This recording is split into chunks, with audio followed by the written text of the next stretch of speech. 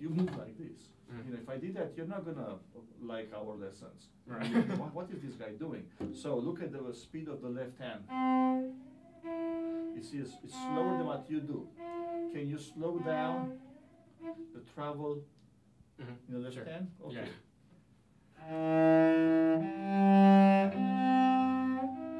But you said yes, Yeah. you didn't do it. You see how the brain is Yeah. not really connected to the Right. hand?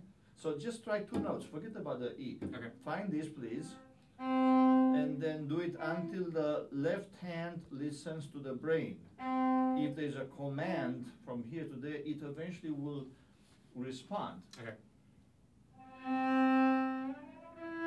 Not bad, not bad, not bad. Again.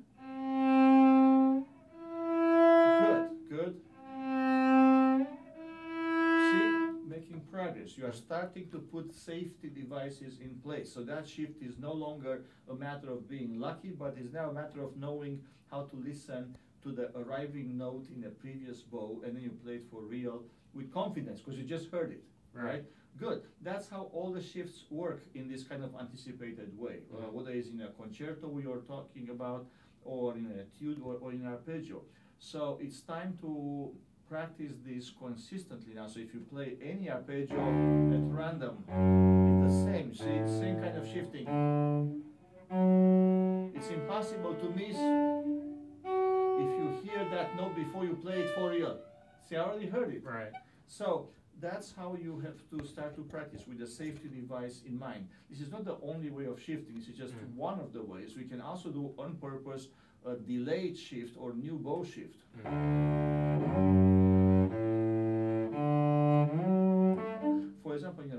Concerto, you may want that for a musical reason, but in a technical exercise like an etude or an arpeggio, you may want the other kind uh, to learn first for Right. safety. So, if I'm doing an etude or practicing, then really practice what we went over. And Right, and again, uh, if I think sometimes uh, in a context of romantic uh, repertoire work, you may we may decide that maybe a delay shift is more effective. We will deal with that at that point. Until Mm. then, I would suggest that you do the other kind for the arpeggio, the anticipated kind, so you can get yourself used to listening to that little helping note. okay. Okay,